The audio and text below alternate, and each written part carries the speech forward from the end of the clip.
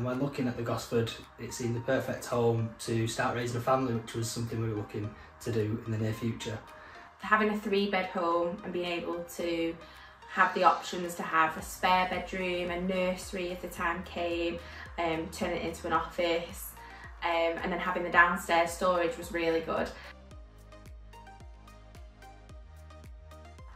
I'd say the living room, probably this room. Um, it's just really relaxing in the evening time um, and it's the right kind of space to be able to entertain friends and family in as well. It's a mix between the living room and the kitchen diner.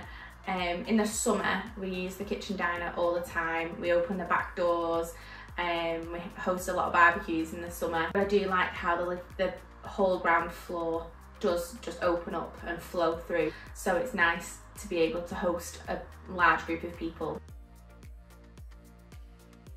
So when we first moved in, we turned it into an office, a home office. Um, we were able to comfortably fit in a desk, computer and chair.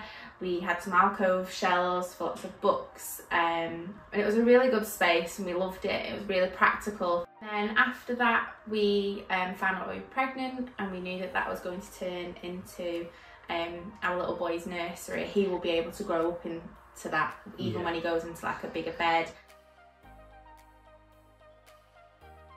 Um, is the three bedrooms and how they're laid out upstairs.